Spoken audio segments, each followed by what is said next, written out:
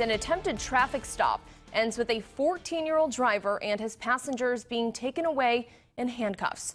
Just after midnight, a sheriff's deputy tried to pull over a car near North Chester and Hughes Avenues because it had no lights on. The car refused to stop, and after a short pursuit, the driver crashed into a fence on Sequoia and Decatur streets.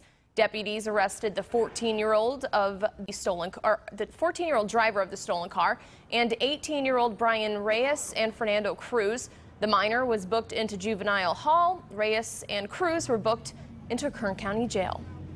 The devastation to my fence, it's a, quite a quite a big tragedy to me because I'm a single mother and I'm not very you know, I'm not very wealthy, and so this fence was um, something I purchased last year, and it was like so exciting for me to cover up my messy storage yard here, and you know, uh, just having it, seeing it half gone now is really devastating because, like I said, it was a big expense, and I don't know that I'll be able to come up with the money for another one.